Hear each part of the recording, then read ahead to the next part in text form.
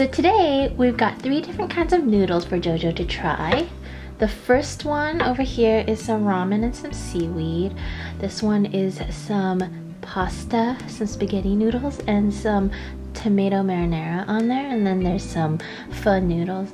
I put green onions and broth on it, but not all of that's healthy for dogs. So we're gonna see which one Jojo likes best and you're allowed to eat. Bon appetit, free.